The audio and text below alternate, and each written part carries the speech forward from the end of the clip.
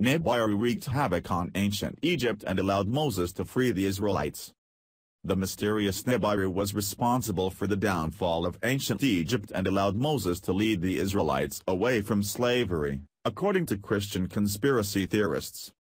Nibiru, or Planet X, is an alleged planetary object that supposedly lurks on the edge of our solar system which is heading inwards and will supposedly cause the apocalypse on Earth which will wipe out most of the population.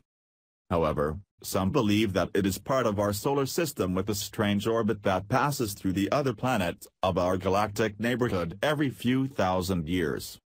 One of the latest claims is that during the last period Nibiru passed through the solar system, it wreaked havoc on the most powerful empire at the time, Egypt, which led to the downfall and also allowed Moses and the Israelites to escape.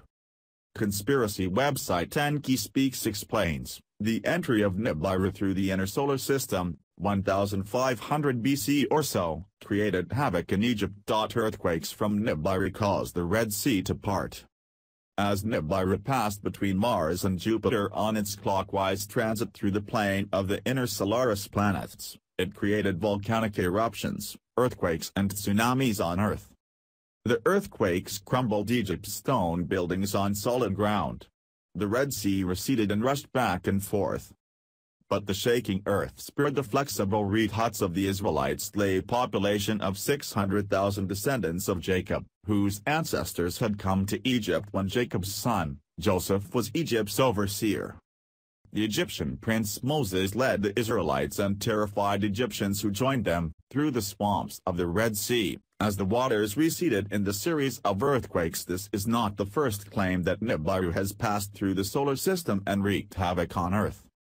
In 1985, Daniel Whitmire, a maths instructor from the University of Arkansas, published a paper arguing the existence of a planet on the edge of the solar system. More recently, Mr. Whitmire has said the planet could be responsible for comets hitting Earth. Some say Planet X is a part of our solar system. Put simply, the mathematician believes the mysterious planet orbits the Sun like every other planet in our solar system, but every 26-27 million years it passes through an asteroid belt known as the Kuiper Belt.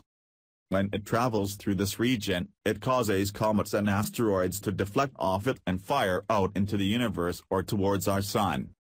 Whitmire argues this may have occurred 64 million years ago, resulting in the extinction of the dinosaurs and claims to have evidence to back this theory up. Did Nibiru kill off the dinosaurs? An article published on the University of Arkansas website reads, in 1985, a look at the paleontological record supported the idea of regular comet showers dating back 250 million years. Newer research shows evidence of such events dating as far back as 500 million years.